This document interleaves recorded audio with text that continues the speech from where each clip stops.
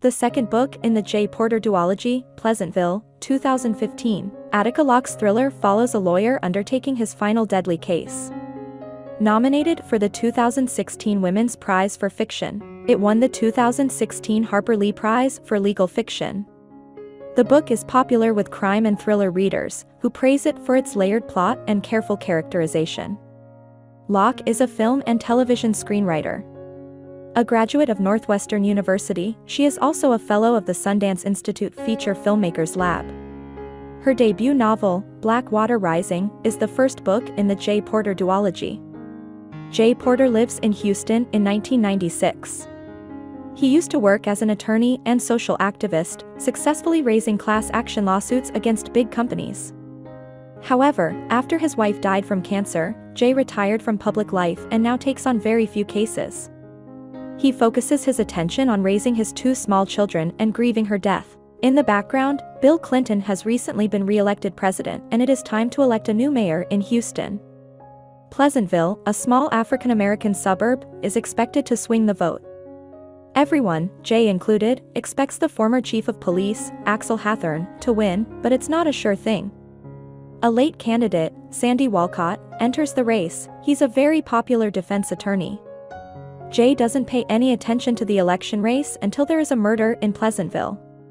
The police find the body of Alicia Noel, a young girl who had been out canvassing on Axel's behalf when someone killed her.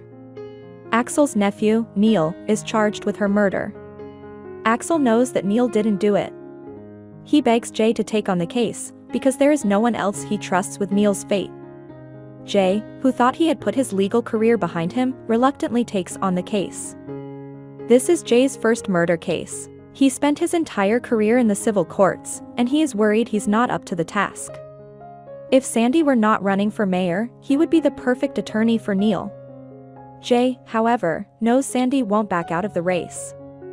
Jay could also use the money to support his family, he only has one other active case on his books, a civil action case against a chemical plant dumping toxic waste into the water supply. The case isn't going anywhere, and he's not making any fees from it. Jay focuses on building Neil's defense. After speaking with Neil, he is convinced that the boy is innocent, but there is little evidence available.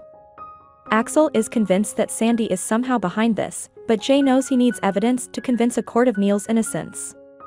He asks Raleigh, a bored PI, and an unemployed journalist, Lonnie, to help him out.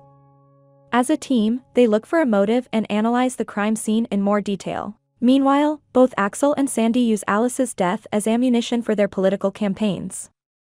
They both declare that only they can keep the townsfolk safe. Sandy argues that Axel and his father, Sam, who owns the town, are not doing a good job and that it is time for new leadership. Axel, on the other hand, argues that Pleasantville did not have trouble like this until Sandy came along. Jay tries to shut out the political noise and focus on the case. He is angry that everyone seems to have forgotten that a young girl died and are, instead, obsessing over politics. To make matters worse, Sandy prosecutes Alice's case. Now Jay is convinced that Alice is a pawn to push Axel out of the race. He is more determined than ever to clear Neil's name. However, the closer Jay gets to Sam Hathorne, the more he suspects that Sam is involved somehow. Jay asks Raleigh to investigate Sam. Raleigh follows Sam and researches his business dealings. It turns out that Sam is loosely connected to other murders around town, and this worries Jay. He suspects his instincts about Sam are right, but he still doesn't understand how Neil fits into everything. What Jay does know is that it doesn't matter if Neil is convicted of Alice's murder or released without charge. The campaign has been tainted now, and Axel is out of the running.